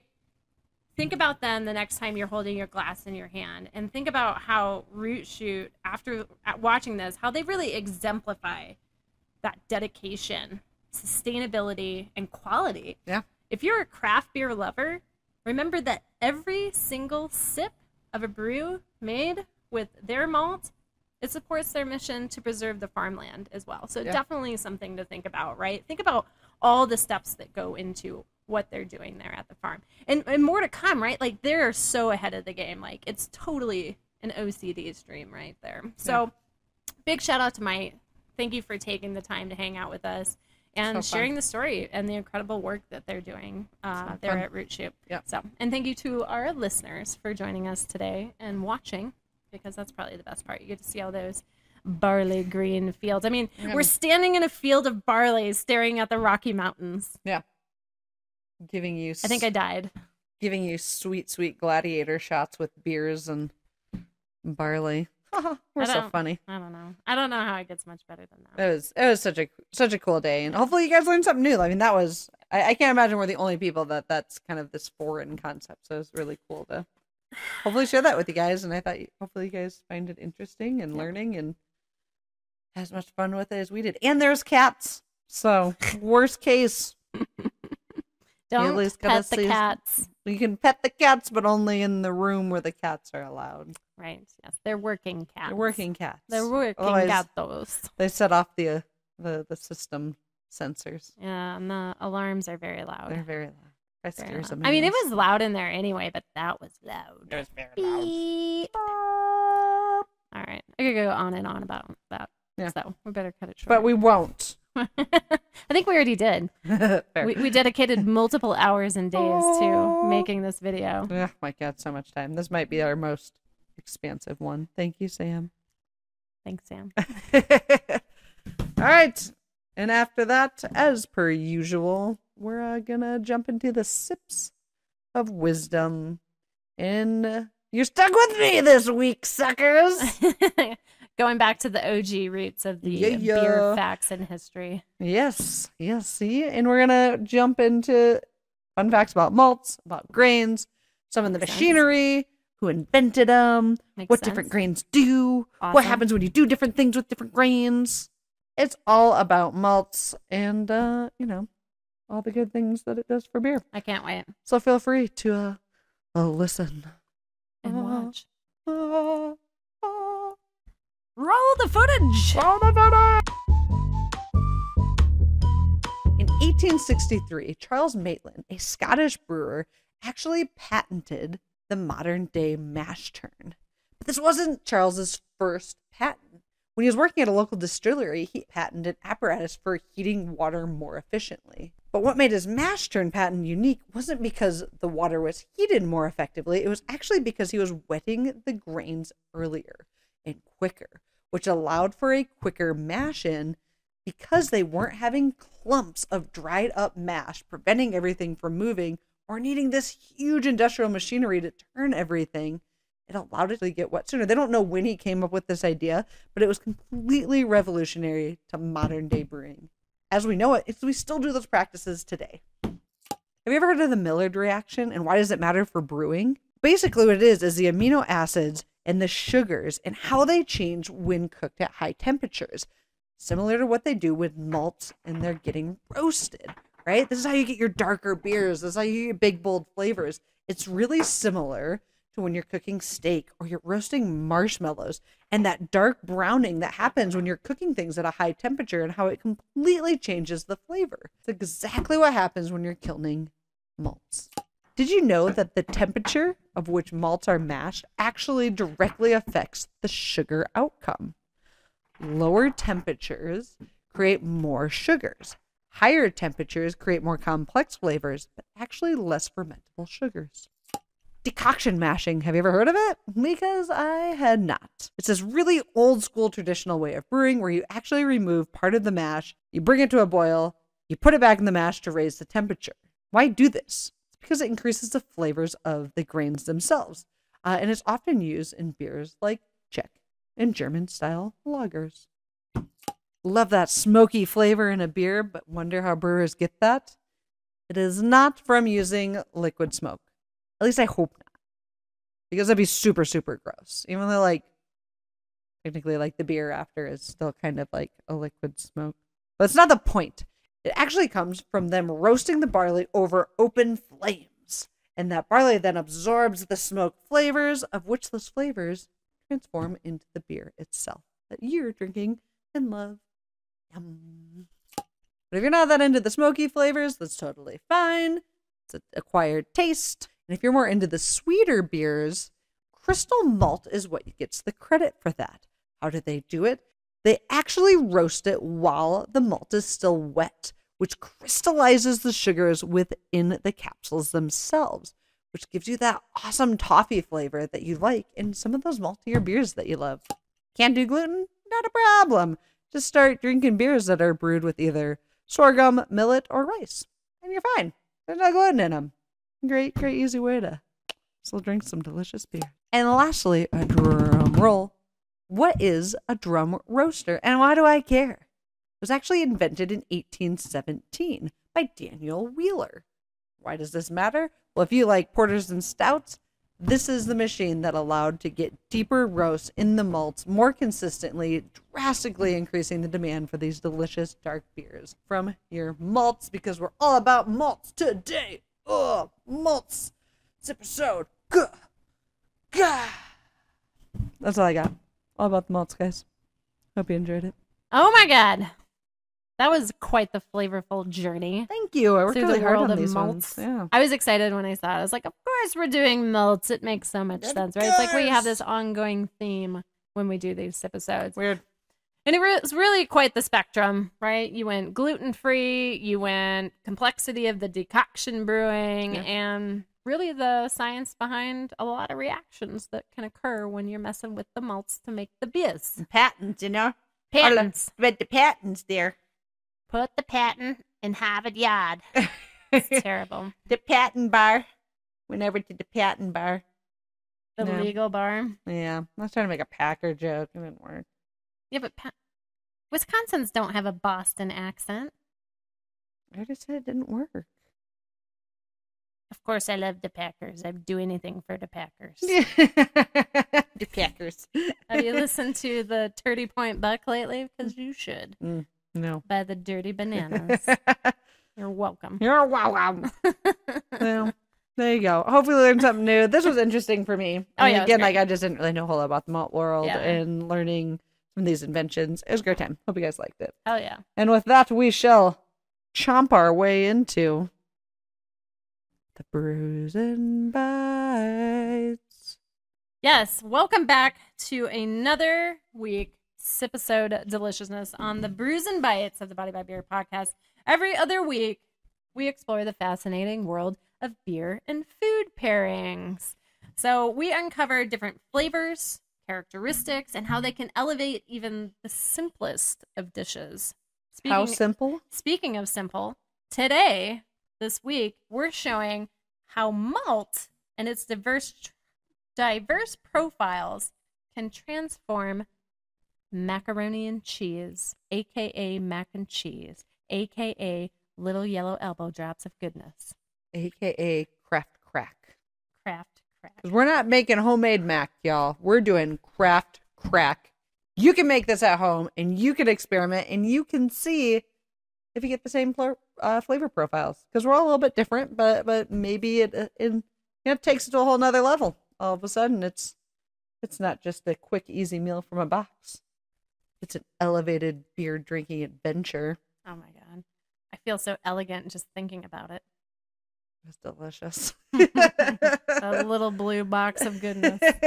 Craft, you have my heart. Yep. So we're gonna do uh, malts from the light biscuity sweetness of the pale ale to the rich caramel and nuttiness of a brown, and the bold chocolate and coffee notes of a stout. And we're off to our flavor adventure. Now you know what's coming up. You're welcome. Brews and bites. Hey everybody! I cannot wait to do today's beer and food pairing. We're going with the super classic everyone has in their household. We've got three beers we're going with, and what's the food? Mac and cheese.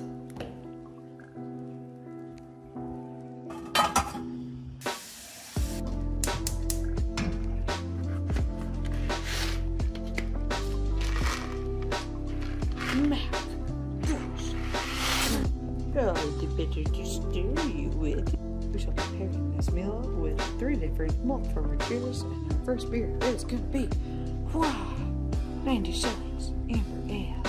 Our second beer will be a nut brown ale from Nebraska Brewing Company. Our third and final beer will be a stout, but we only had sweet desserty stouts, so we're gonna go with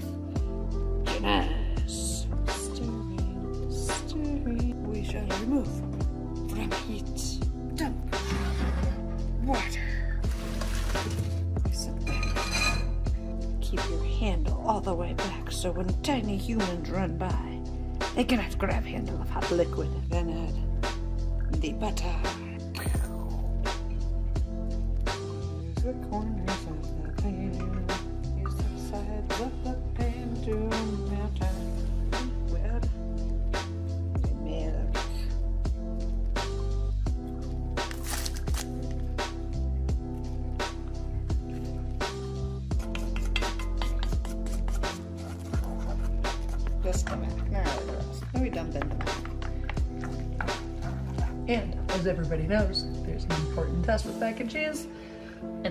Make sure it's not poisonous before you eat it. Ah.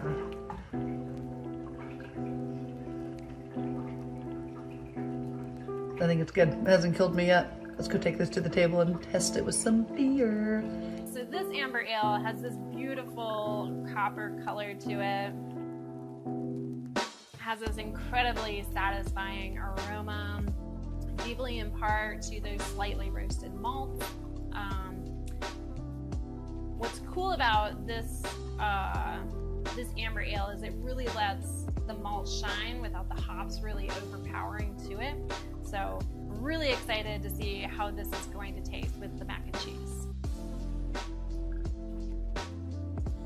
Oh yeah.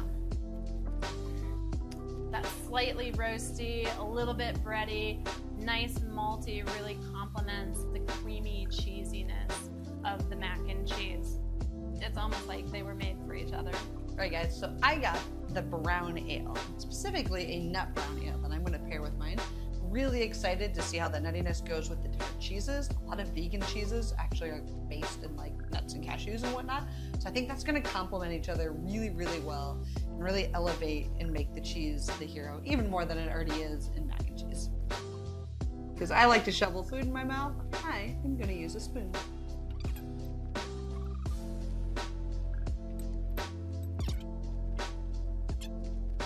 Totally. The the the nuttiness and the cheese makes the cheese does make it makes it basically not taste like powdered cheese. It actually tastes like kind of a homemade mac.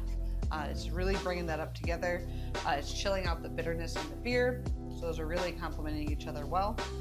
And honestly, considering I got a little one and a half year old and I eat mac and cheese all the time, this is a great way to elevate it at home.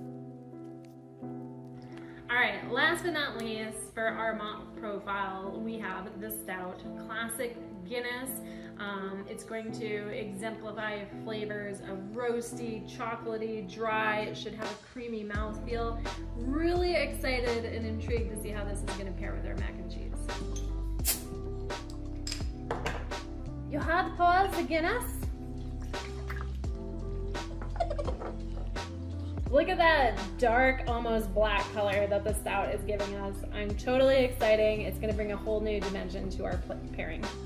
It's almost like a gourmet mac and cheese. It's like these deep, dark chocolate notes with the roastiness, with the bitterness.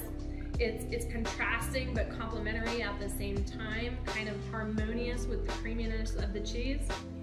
Much better than I thought going into it. Out of this world. Totally recommend. Can't believe how much the malt flavors just like so differently elevated this dish. All right, guys, this was a great way to elevate a really, really simple dish uh, with not adding any extra complexity, just adding what beers you probably already have around in the fridge, right? The the malts of your amber, of your ale here are really going to help elevate the cheese and the sweetness, uh, also cutting down on some of the bitterness. The nuttiness of the brown really made a big punch with the the cheese in itself and really made the cheese the hero. Uh, kind of had to eat it at the same time, like eat and drink at the same time. Uh, personal favorite by far was going to be the stout here. Uh, it really just made this taste like this incredible, elaborate cheese that was on here, uh, and just completely took it to a whole other level. Like I will be doing this pairing hands down. So remember when pairing beer with food, it's all about finding that balance and complementing flavors, even more so on the most simplest of dishes. So we're so happy that you joined us on this malt adventure with us today to take even the most simple of the simplest of dishes onto a totally elevated level.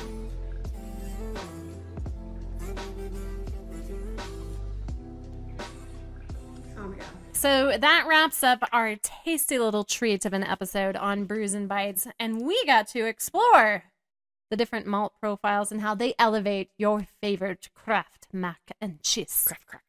Each bite should have been more enjoyable than the next, but uh, that's just us. We really like mac and cheese. We really like Yeah. dissecting the malt profiles of these beers. So we hope you enjoyed it Yeah. as well. I enjoy eating Kraft mac and cheese with the largest spoon I can find in the house and just I Um, think I'll, uh, so. I love your little kiddo very much, but I think one of my favorite parts is I also have a ladle that I use to eat mac and you cheese. You gotta make with. sure it's not poisonous after you cook it. You know, exactly right. And we're the she can humble servants to the queen.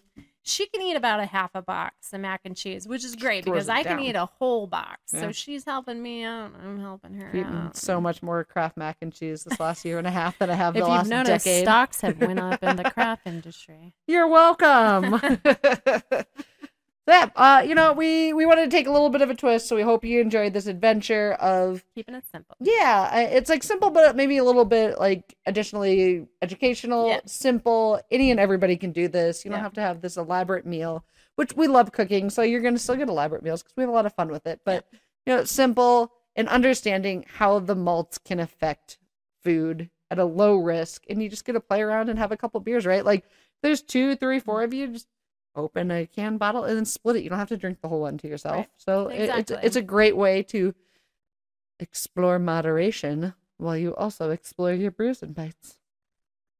Bringing it back, baby. Yeah, let's yeah. go. Let's go. So if you love this segment, please sure, please ensure to like and subscribe for more delicious pairings. And also, as we always have back here in the background, we should just open the scene with these just hovering. Ooh. Liz wrote a lovely beer basics pairing book, which will give you more ways to explore how beers and food and everything goes together and makes things freaking delicious. And it doesn't say basic just because basic is an easy word to throw on a title because it's pretty basic. Simple things like mac and cheese. Yeah. and just how it uh, how it elevates. You know what I mean? Yeah. It's all So, about yeah. the elevated experience. elevated experiences. Links in below. You can buy a copy today. Liz has been crushing the sales on this. Keep Oh, thanks. supporting, and it's been actually really incredible seeing that Wild. Thank you so much flourish. for the support. People love it. And if you buy enough, and if you post in the comments, maybe you can like peer pressure her into another one. Oh. oh. May Peer or may- pressure. May, or na- may or may not be in the works. oh my gosh, peer pressure, guys. Yes, please. I love pressure. And with, With that pressure, we're gonna go into a top ten. Kobe. This week's top ten, I'm really excited about. Oh, it's, it's a fun little twist uh, compared to like, hey, this is where you should go drink beer, or this is where you should go do this. And instead, this is the top ten things no one ever warned you about. Colorado Craft Beer Edition. Bah. Go. Number 10. Beer festivals are actually a way of life. From big city events to small town gatherings, there's always a festival to attend, especially in the summer. Yes, so it's many. festival It's season. festival season. Number nine. We know wherever you're from, you've got great breweries from your hometown. They're not as good as they are here. That's right, ours are better. Number 8. We have tried home brewing. True. This is true. Number seven. Yes, we do have a fridge, probably in the garage, that's dedicated solely for storing all of our beer. because we're part of eight beer of the month clubs. Maybe. Mug clubs. All right. Number six, it's not just craft. We support all local. So oftentimes you should expect a stink eye for buying commercial unless it's outdoor gear related. And then it's fine. Thanks, sorry. I. Also, Coors is fine.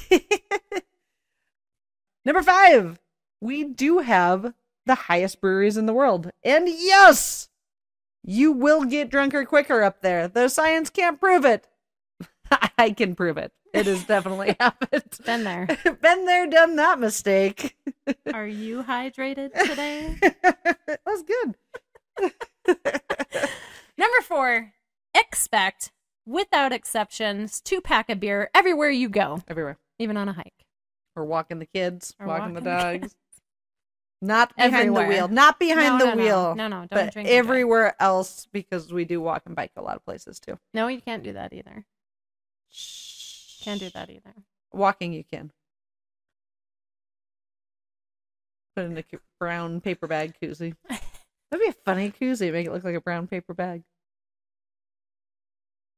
Somebody surely has done that. Shirley, don't call me Shirley. Just slap a sticker on a brown paper bag, call it a koozie, and be like, "Why is my bag wet? Because it's fucking cold."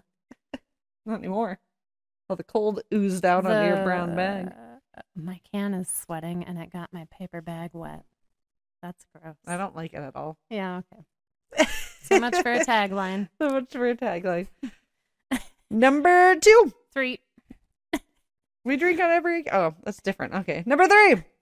Yes, we will have a beer for any and all occasions, big or small, does not matter. We're probably going to have a beer during it. Finish the hike, have a beer. It's Monday. Have a beer. It's Walked- Friday. Walked out to your garage, to Have your beer. beer. fridge, have a beer. Made it through the week. Have twelve. have 12. All right. Number two. Without a doubt, there is a brewery within a mile in any direction. There's a lot of breweries around here. They're they're everywhere. They're all over. I remember You little- can throw a cat and hit a brewery. oh, Don't throw a cat. but don't throw a cat. But you could punt. That makes me go- Anyways, I remember I was traveling and was like driving by this little strip mall area. It was like kind of industrial, kind of strip mall, and I was like, oh, I wonder what brewery is in there. And I was like, oh, you know, I know I'm from Colorado because there wasn't one, but that's immediately I was like, there's got to be a brewery in there. Lame. We should go stop and check it out. Oh, it's just like machinery. That's stupid. Anyways, that's my story about it. Proof That's there. story, And number one, Sticking to it. number one thing nobody uh, tells you about craft beer in Colorado edition. A 7% beer is considered a sessionable beer. Take that. put on your big girl panties and deal with it. Yeah, enjoy yourself. also, could be why you get drunker faster at elevation. Yeah, seven percent is sessionable. So there you have it. The top ten things no one ever warns you about. Colorado Craft Beer Edition. Horns. Horns. Horns. There's an abundance of beers. There's high altitude. There's quirky little things that we do and talk about here in the beautiful state of Colorado. Yeah. Um, it truly is one of a kind. Hope these insights give you a deeper appreciation for what makes our beer culture so unique. Whether you're cracking open a cold beer on top of a mountain, We're pushing the kid in a stroller. pushing the kid in a stroller at the dog park. Never done that. Or exploring countless breweries around. Remember, you're part of something special.